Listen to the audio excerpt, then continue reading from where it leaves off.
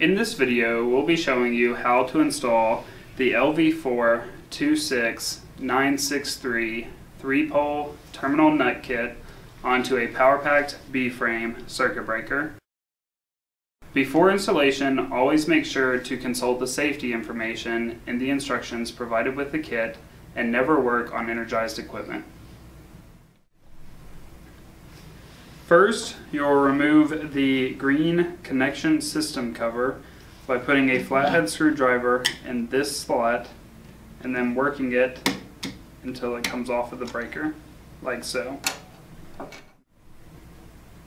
You will then remove the lug kit that is currently on the breaker by sticking a small flathead screwdriver into the slot below the lug kit and leveraging the lug kit out of the breaker.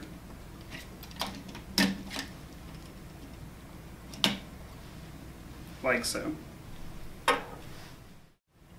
You will install the terminal nut kits by placing the notches into the grooves on the back of the breaker and then pressing down until it clicks into place.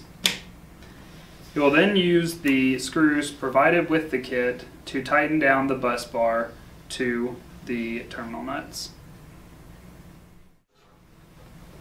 Then install the green connection system cover back onto the front of the breaker